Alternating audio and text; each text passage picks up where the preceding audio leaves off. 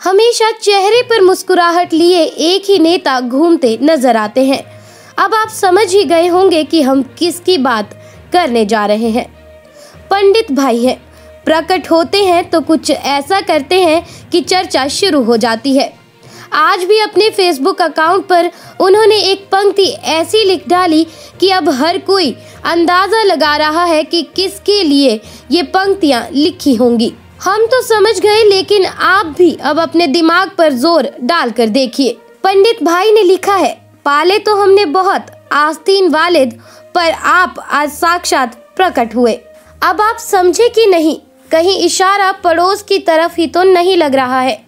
इस पंक्ति के साथ ही उन्होंने लिख डाला है, जय नाग देवता।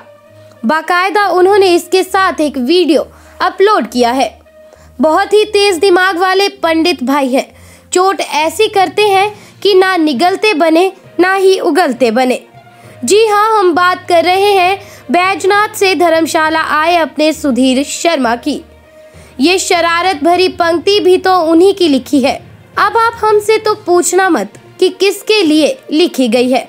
कुछ कुछ तो आपको भी अपना दिमाग लगाना होगा। अब हम बात आप पर छोड़ रहे हैं। कमेंट बॉक्स में कमेंट करके ज़रूर बताइएगा कि आखिर ये पंक्तियाँ किसके लिए लिखी गई हैं?